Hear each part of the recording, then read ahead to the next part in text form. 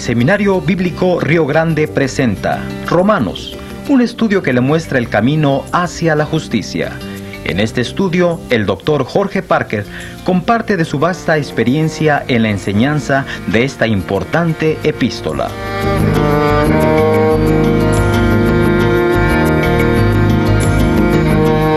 Ahora continuamos nuestro recorrido por el camino hacia la justicia. Con usted, el doctor Jorge Parker. Lección 12. El plan de Dios para Israel. O mi oración a Dios para Israel es para salvación. 10.1 hasta 11.6. Al fin de la lección 11, vimos dos razones por las que Israel fue rechazado en el plan de Dios. Fue rechazado porque no iba tras la justicia que solamente es alcanzada por fe, y además fue repudiado porque rechazaron a Cristo, quien llegó a ser para ellos una piedra de tropiezo. Ahora, en los primeros diez versículos del capítulo 10, vemos que Israel fue rechazado porque ignoraba la justicia de Dios y trataba de establecer la suya propia sin sujetarse a la justicia de Dios. Pablo da principio a este párrafo revelando el anhelo de su corazón y su oración a Dios, la salvación de Israel. Pero observa, para dar una base de su tercera razón del rechazo de Israel por parte de Dios, que tienen celo de Dios, pero no conforme a ciencia.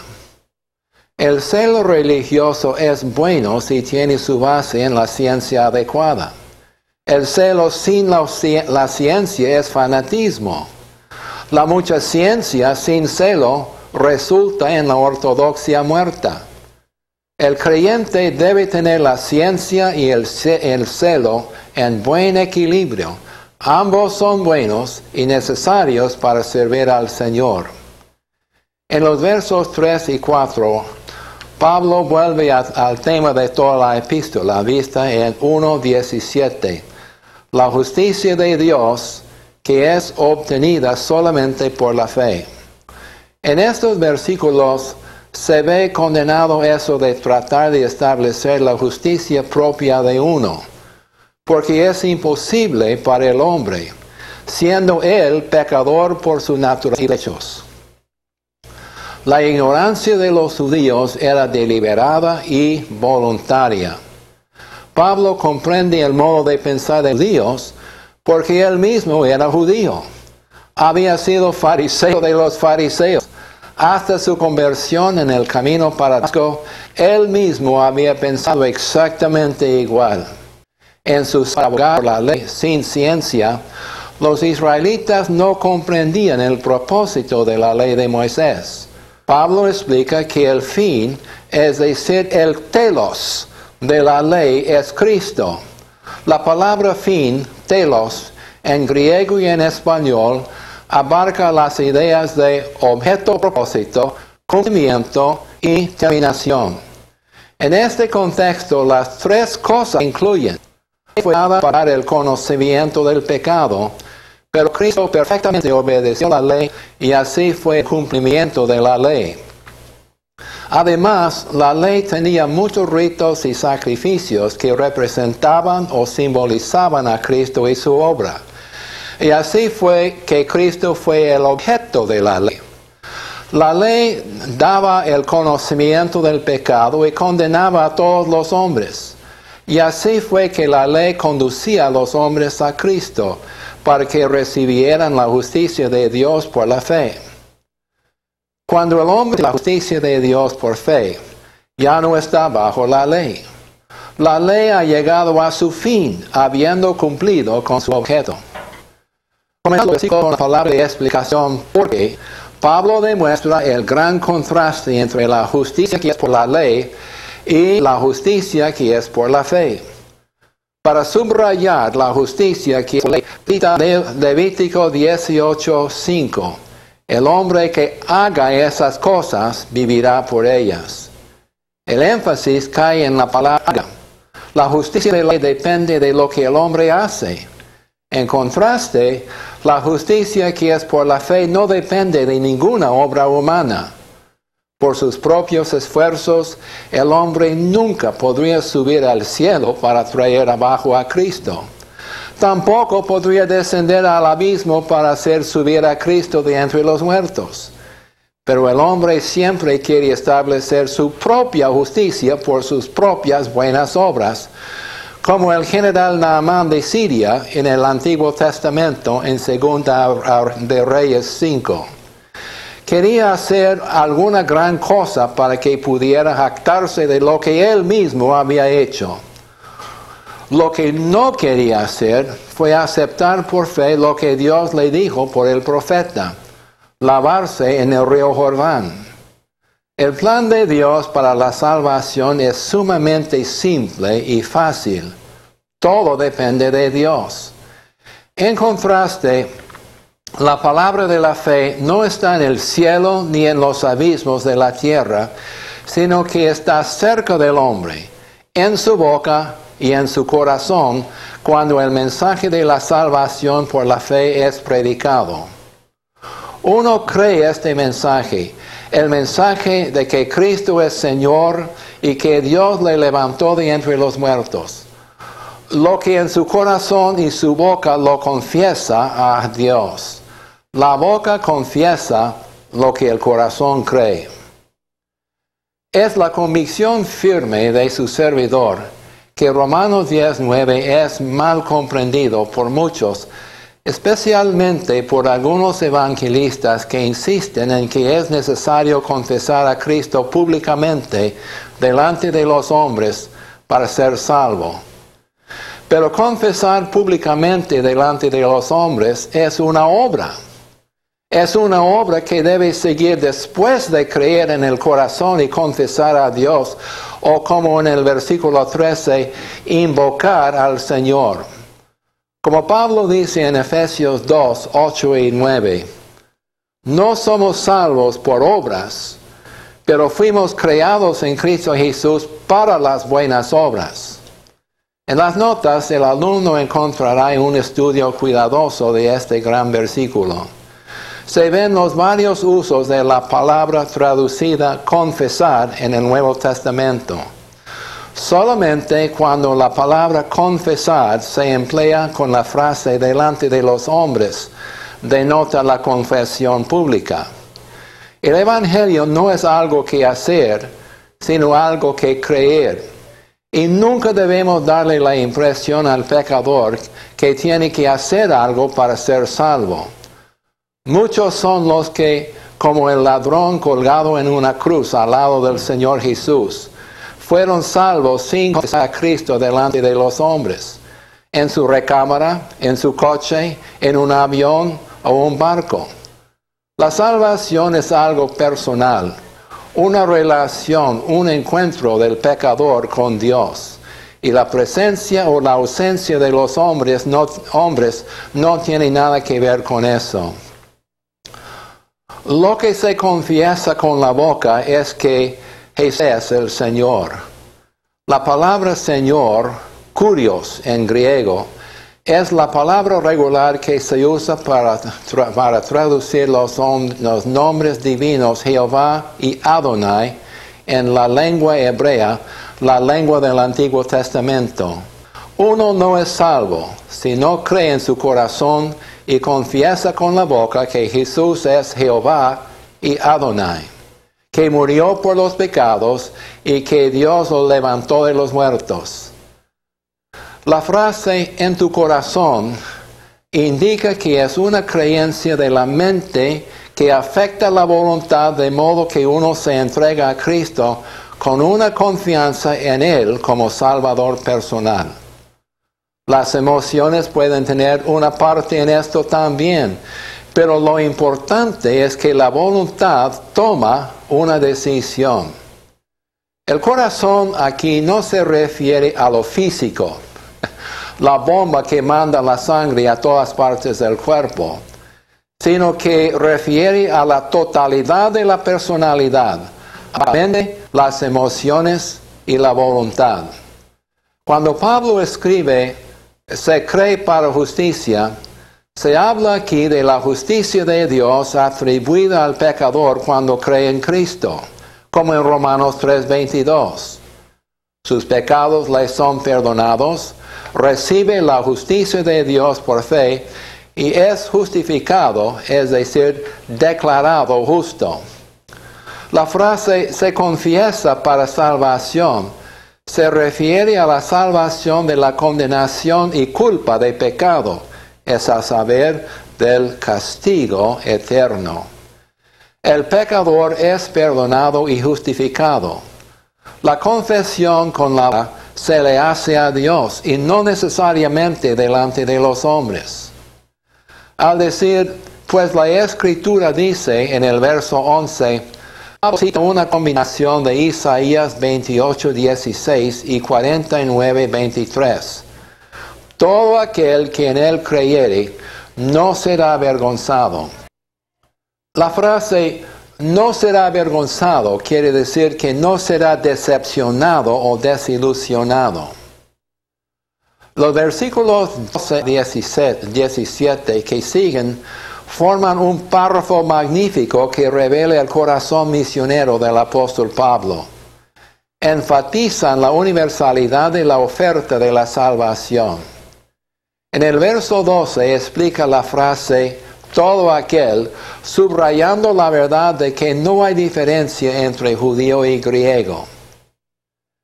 ¿Es posible imaginarse del viejo hombre Saulo de Tarso diciendo tal cosa? El fariseo de los fariseos es el mensaje de Juan 3:16.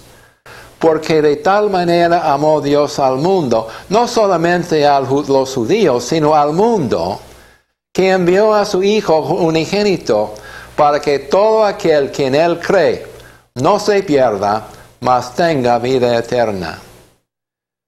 Fíjese en cuántas veces Pablo usa la palabra todo en los versículos 12 y 13. Dios es el Señor de todos, es rico para con todos los que le invocan, y todo aquel que invocare el nombre del Señor será salvo.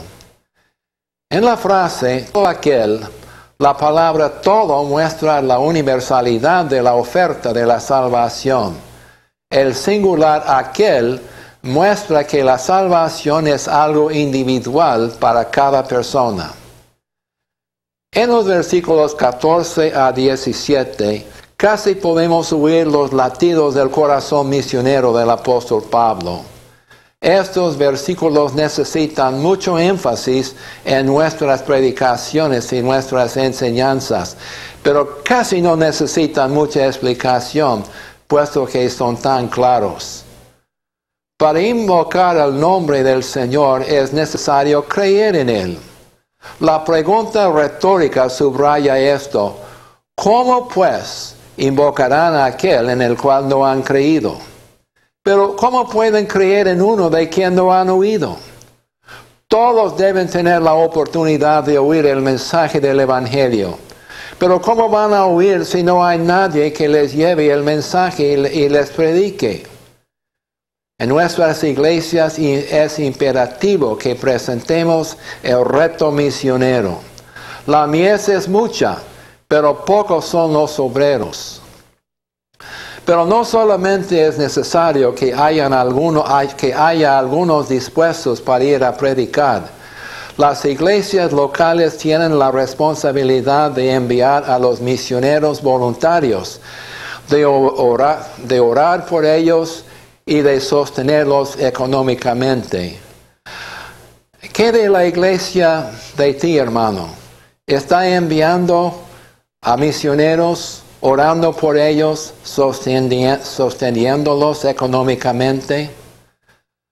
Así es que Pablo hace otra pregunta retórica. ¿Y cómo predicarán si no fueren enviados? El versículo 15, que es una cita de Isaías 52, 7, con Nahum 1.15, nos da una receta para tener pies hermosos. ¿Tienes tú los pies hermosos?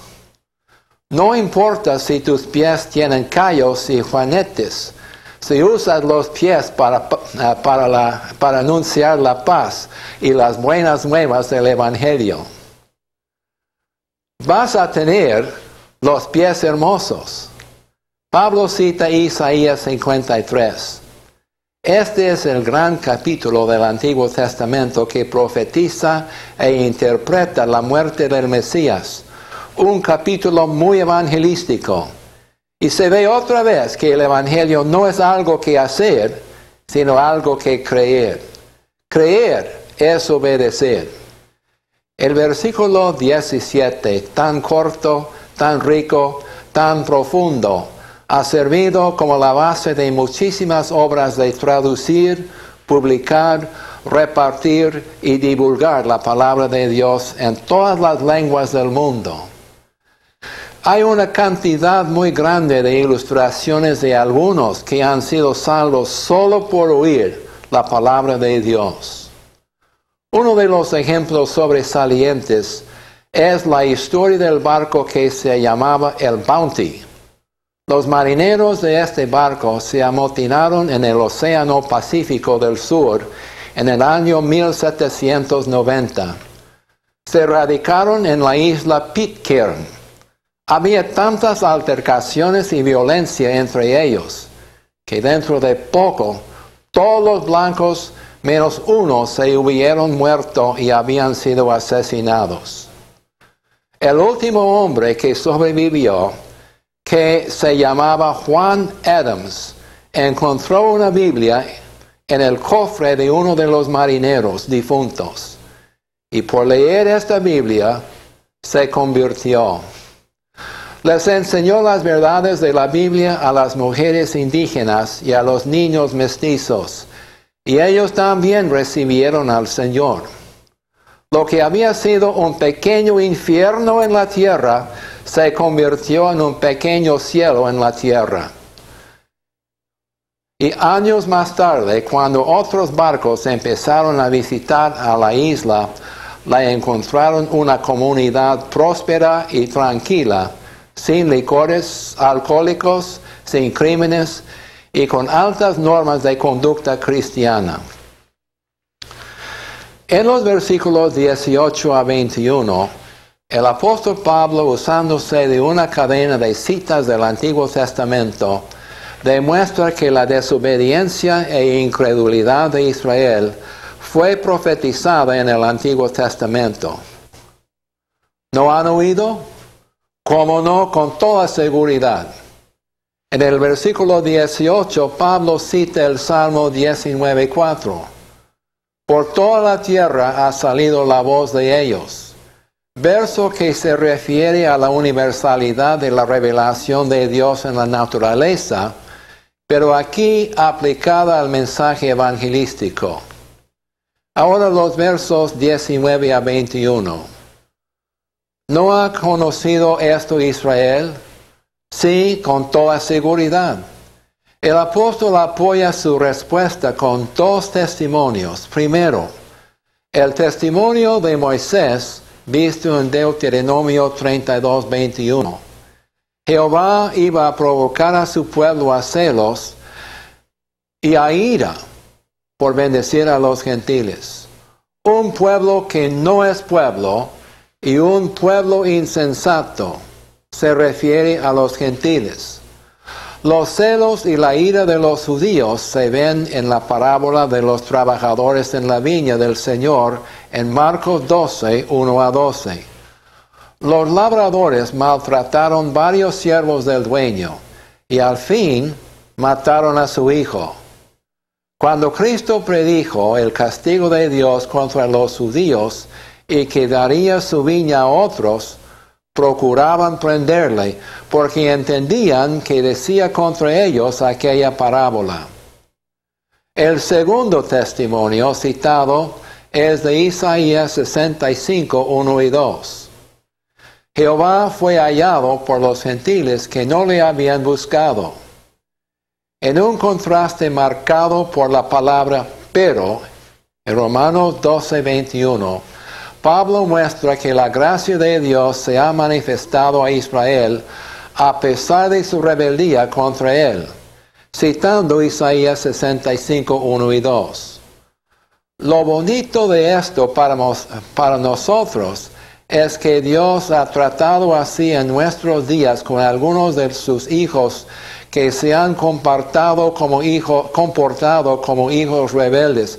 Los ha castigado, pero sus manos misericordiosas se han quedado extendidas hacia ellos hasta que se hayan arrepentido y han regresado a su Padre Celestial.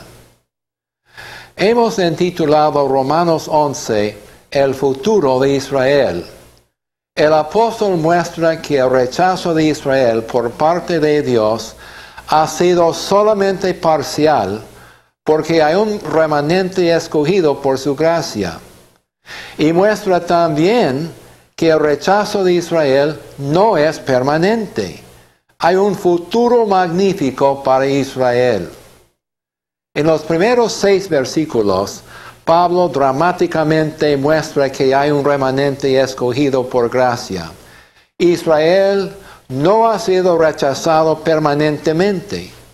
Da principio al versículo 1 con una pregunta lógica y retórica, la que por su forma gramatical en griego espera la contestación negativa.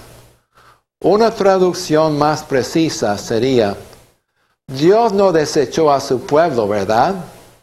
Y contesta enfáticamente, en ninguna manera. Luego va a presentar tres ejemplos para ilustrar lo que dice con mucho énfasis en el versículo 2. No ha desechado Dios a su pueblo. Primero, el ejemplo personal. Pablo mismo, en el versículo 1. El segundo ejemplo, es histórico.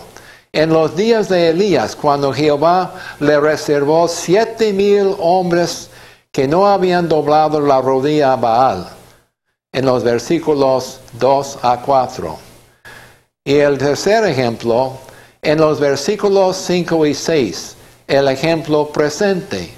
Aún en este tiempo ha quedado un remanente escogido por gracia.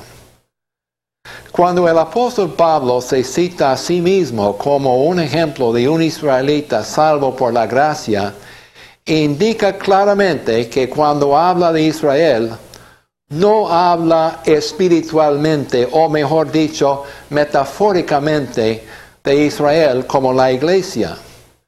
Dice que era de la descendencia de Abraham, de la tribu de Benjamín. Israel es Israel, no es la iglesia. La teología de los amilenialistas dice que la iglesia ha tomado el lugar de Israel en el plan de Dios. Pero este versículo 1 y todo el capítulo de Romanos 11 destruye esta teología falsa. Para el amilenialista cabe cabe bien a la luz de este versículo la pregunta, ¿A cuál de las tribus de Israel perteneces tú? Pablo era un judío convertido, pero nunca dejó de ser israelita. En el versículo 2, Pablo escribe que Dios antes conoció a su pueblo.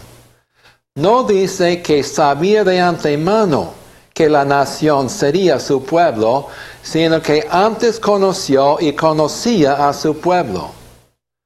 Aquí se ve la predeterminada elección de la nación como el pueblo de Dios. El contexto muestra que no solamente se ve la nación, sino también los individuos preconocidos de la nación. El ejemplo histórico es el del remanente fiel en los días de Elías, visto en 1 de Reyes 19, versos 10 a 18.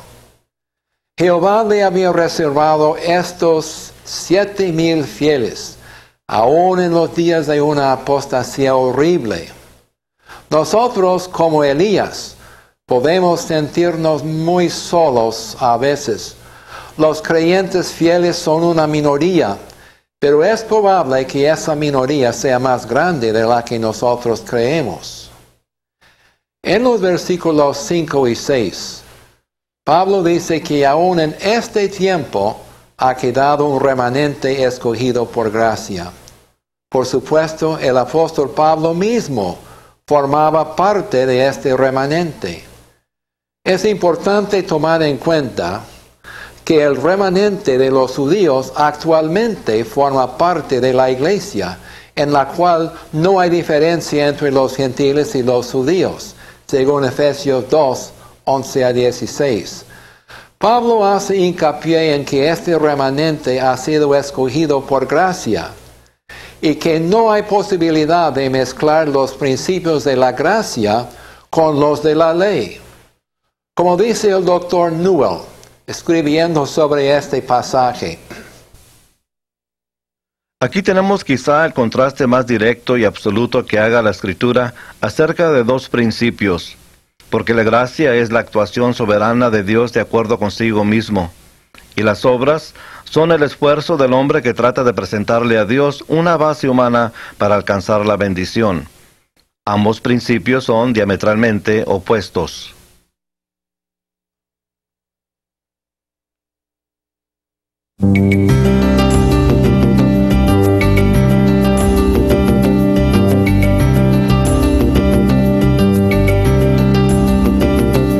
Por habernos acompañado. Esperamos que la lección de hoy le haya sido de ayuda en su camino hacia la justicia. Le invitamos para que nos acompañe en la próxima lección. Hasta entonces.